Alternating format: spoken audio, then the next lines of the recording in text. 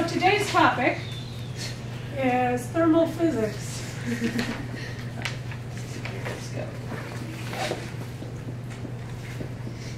Okay, so what I what I told these three actually is that each time I'm going to cover a topic that is not covered in the curriculum, that is on the AP exam, uh, sorry, SAT 2 exam.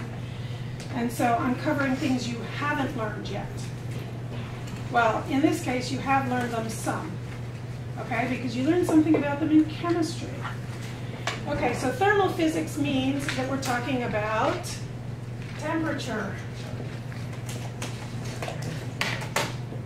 which unfortunately has the same symbol as period and tension and yes. But anyway, so temperature is a capital T, and you learned in chemistry that temperature has to do with the motion of the molecules, right? And the higher the temperature, the faster the molecules moved. For a gas, right?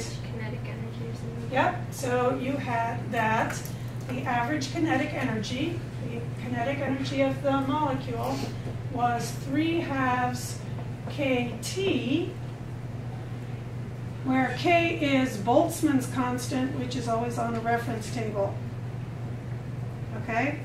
You usually don't have to really worry about Boltzmann's constant because most of the questions that it talks about on things like the SAT-2 have to do with things like if you double the temperature, what happens to the kinetic energy?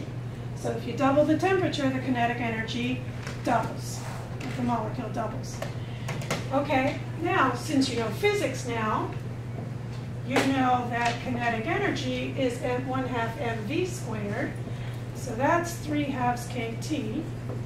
And therefore, the what is called root mean square, that's what that RMS stands for, um, square velocity is going to be 3 kT over m, where this is the mass of the molecule or atom, and we square root it. Okay, root mean square is a way of dealing with the fact that the molecules are going in all directions. So if you take the average of something that's going in all directions, you would get an average velocity of zero. So what you do is you square it to take out the direction, and then you square root it to get it back to being velocity, and that's where root mean square comes from. Okay. So again, this tells you that if you double the temperature, your root mean square velocity would increase by a factor of the square root of 2. Right? Okay. So, and in chemistry, you also learned that as you increase the temperature of an object, actually, let's see, I think you did it in terms of heated. Heat in versus temperature. As you increase the temperature of an object by putting in heat, right? You increase the temperature of an object by putting in heat. You come to a point where, if you're doing it with a solid, the solid begins to melt, right? The solid begins to melt. So it's melting. And then you keep putting in heat, and it is now all melted. So the temperature of the liquid begins to rise until it reaches the boiling point, and then you have it evaporating. And when it's all evaporated, then the temperature rises again. So this is a graph that you should have seen in chemistry. Okay, where this is the solid. This is liquid. And this is gas.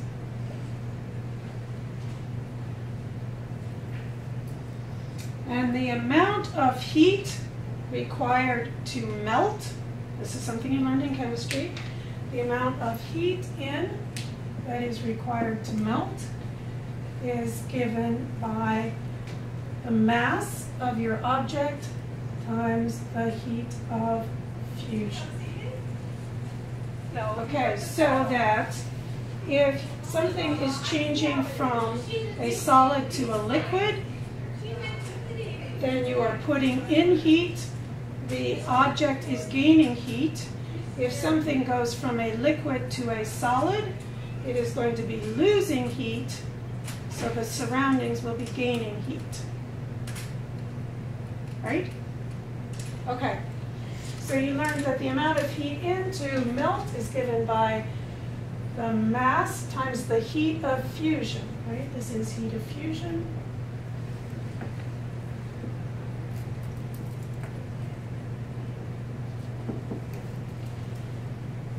So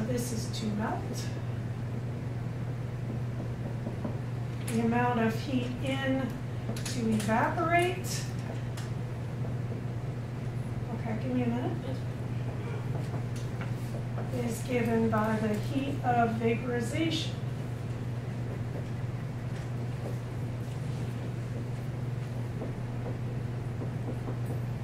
Okay, take a break right here.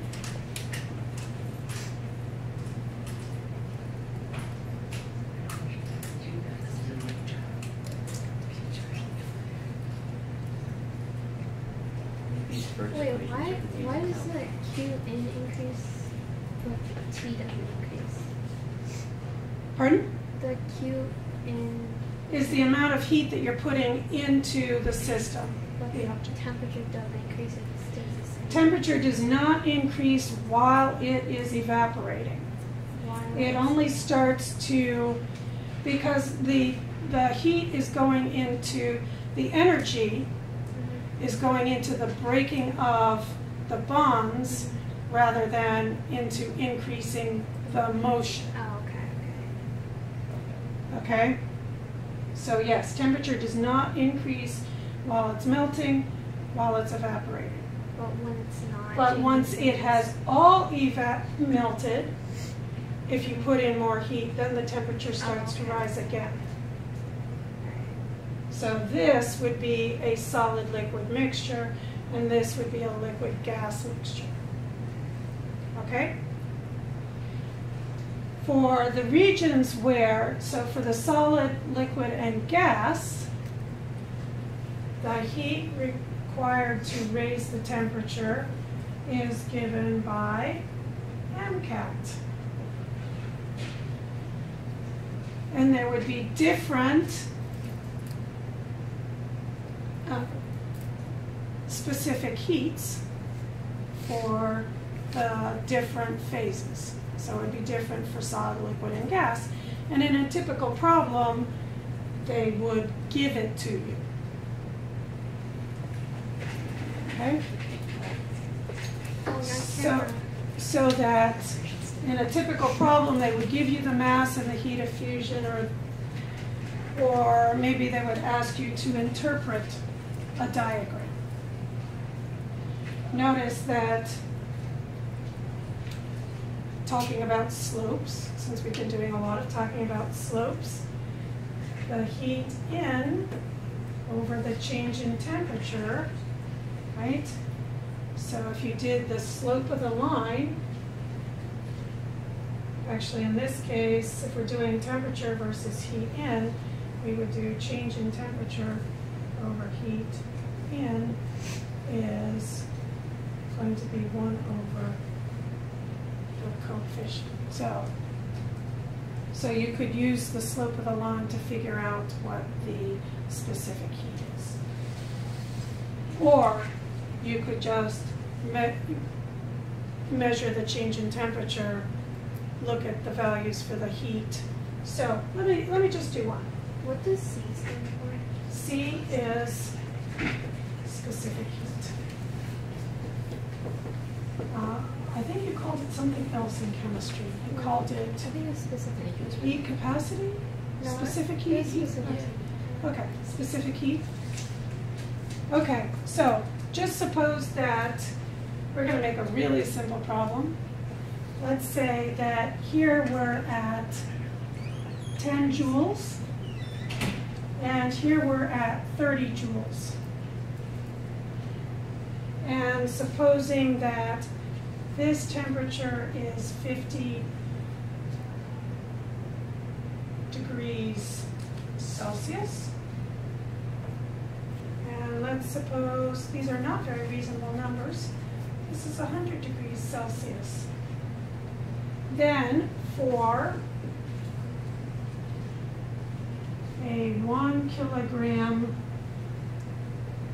mass, we could figure out that the specific heat, which would be our heat in divided by the mass times the change in temperature, would be our heat in, which is the 30 minus the 10,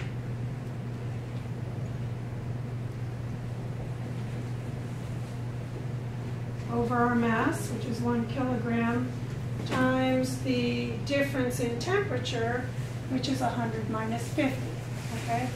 So 50 degrees. Okay, so that's how you could figure out the specific heat from the graph. Which reminds me that I should really have talked about temperature in the different units up here, right? Because we've been using degrees Celsius. Uh, there's also degrees Kelvin. Do you remember the conversion between Celsius and Kelvin? And degrees Celsius is the temperature in Kelvin Minus 200.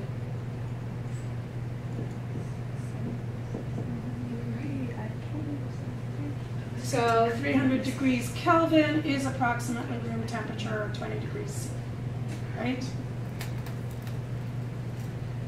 Okay. So, how can we get this heat in? There are several different ways.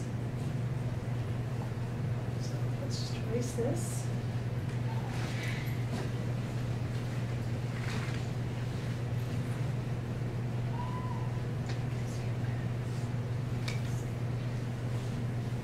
We can get heat in by, this again you learned in chemistry, so this is quick review.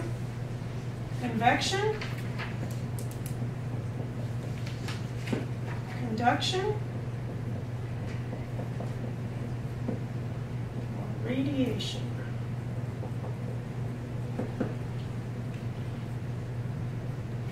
Convection, there aren't any good mathematical models for. Conduction depends on the gradient in temperature. The bigger the gradient in temperature, that is, if it's 10 degrees in here and it's 80 degrees out there, then there's going to be a lot of heat flow from there to here. If it were 80 degrees in here and 80 degrees out there, then there would be very little heat flow by conduction. Radiation is when um, it, it's what it sounds like. It radiates away. It goes as T to the fourth power. That's pretty much what you, have to know about convection, conduction, radiation. Convection is when the air, for example, is moving, so the air moving takes away some of the heat. Conduction is just uh, across a barrier, typically, and radiation is the kind of cooling that we get on nice, clear days when everything is really calm, right? So it can radiate out towards space. Okay, once you've gotten a change in temperature, let's look at the effect of a change in temperature on, in particular, solids and gases. Let's do gases first because you know how it works. In gases, you learned the ideal gas law, which was that pressure times volume was nRT, or sometimes it's written pressure times volume is NkT. It doesn't really matter. The main thing is that pressure, volume over temperature is a constant for a closed system. That is, you don't have mass coming in or out.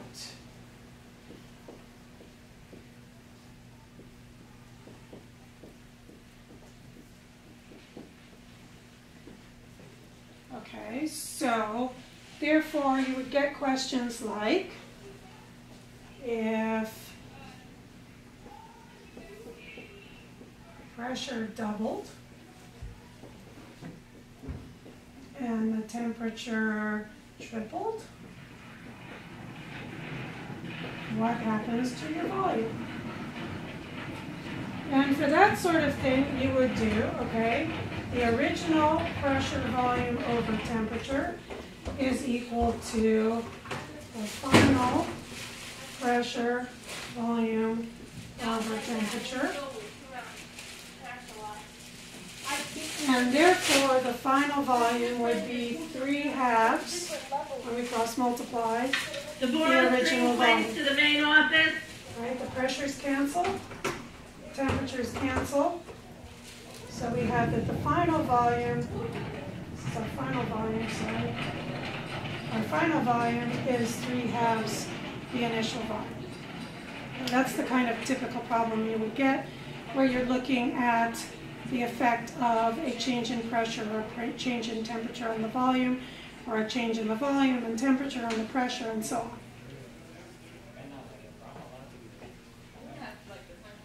Okay, good? Okay, on solids,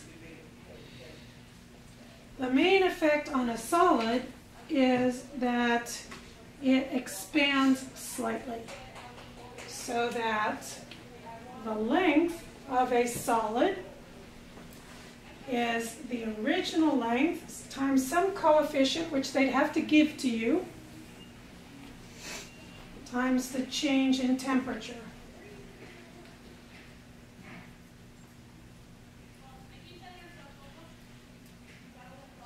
And similarly, volume is approximately, all you have to do is multiply by 3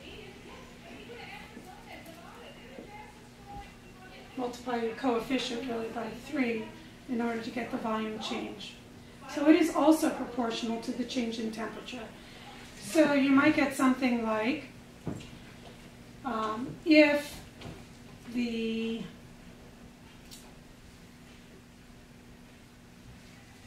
the length of a bar of iron increases by 5%, by how much does the width of the bar of iron increase? And the answer would be 5%, because if this increases by 5%, then the width is basically the same formula, right? It's just a different dimension.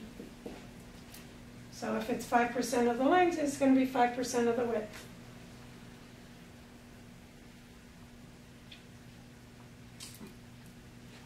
So those are the main effects of temperature on gases and solids, on uh, materials that you need to worry about. And then we get to the laws of thermodynamics.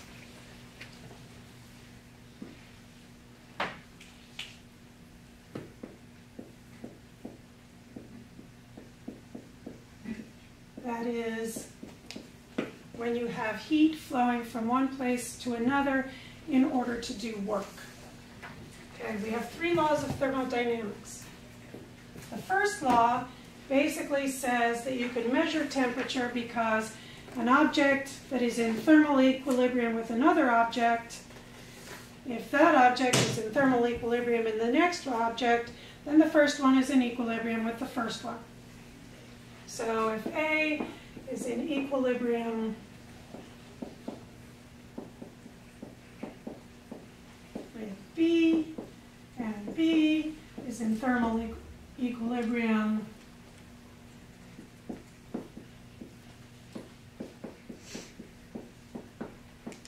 with C, then A and B and C are in equilibrium, thermal equilibrium. I'm talking about thermal equilibrium here.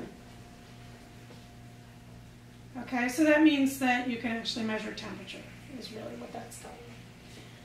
Then the second law of thermodynamics is something that should look a little familiar to you because we've been using work equals change in kinetic plus change in potential plus this change in, except it's not really internal energy, it's, it's, it's not really Q, it's U.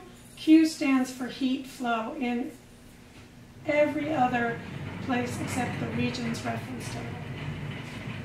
So you can, this is telling you, this isn't actually the, the first, the second law yet. This is telling you that work can produce a change in internal energy. From chemistry, you know that heat can produce a change in internal energy. So the first, the second law of thermodynamics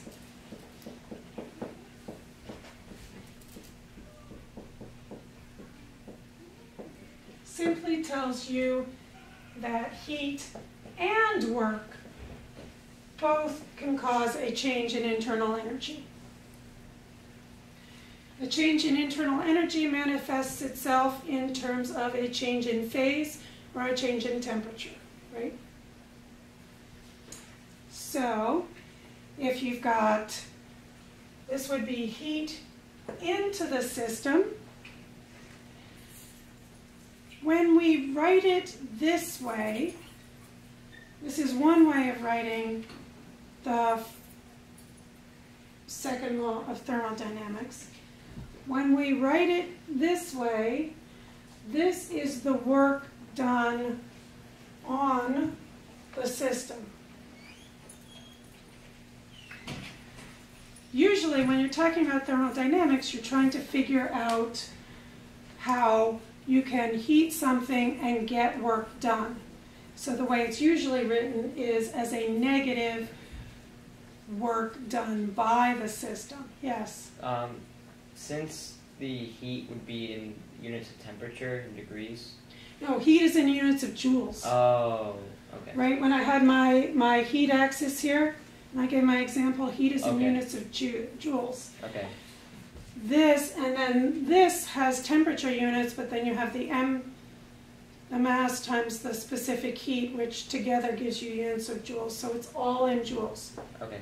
So heat is in joules. Okay, so this is work on the system.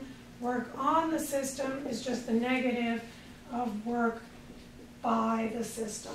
Work done by the system. Because usually in machines, you're putting heat in, like a steam engine, you're putting heat in, and you're getting mechanical work out. So you're really interested in work being done by the system. Okay, so this is the second law of thermodynamics, and you would use it, for example, in, uh, they would have to give you two of the three variables. That is, if you put in, okay, let's, uh, I'll write it out.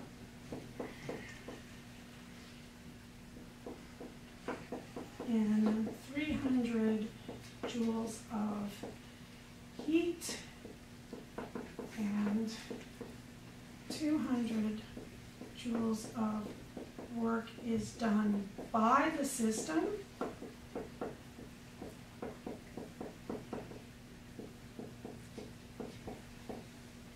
What is the change in internal energy? And so this one would be pretty straightforward. You have 300 joules of heat in, so that's in, so it's positive. And work done by the system That's going out of the system, so we're going to make that negative is equal to the change in our internal energy. So the change in the internal energy would be 100 joules in this case. The other application that is sometimes done is if it says that it is in a cycle, so it returns to the same temperature. If it returns to the same temperature, there is no change in internal energy, so the work in would be equal to the heat done by, in that particular case. Okay. So that's the second law of thermodynamics. And then the third law of thermodynamics is basically that entropy increases. I'm going to keep it simple. There's a formula for it, but we don't really need it. Entropy always increases, disorder always increases. Okay, so that's in a nutshell. Oh, no, I forgot one. You need to know about efficiency. Okay, efficiency. Let me just, that's up here with the third law. You need to know that the efficiency is basically the amount of work that comes out for the amount of heat that goes in. So the work out would be the difference in the amount of heat that goes in from the amount of heat that goes out over the heat in, and it's usually expressed in a percent. I'm going to get rid of entropy increases so I can do an example. So for example, suppose you had an efficiency of 20%, and you know that you put in 400 joules of heat. You could figure out how much heat came out. So your efficiency, 20%, okay, we'd have to make that into a number instead of using percent, right? So your efficiency would be the heat in, which is 400 joules, minus your heat out over the heat in, and therefore you could solve for the amount of heat that comes out. Okay, so that's thermal physics in a nutshell. Pretty good. Covered it in half an hour. Um, so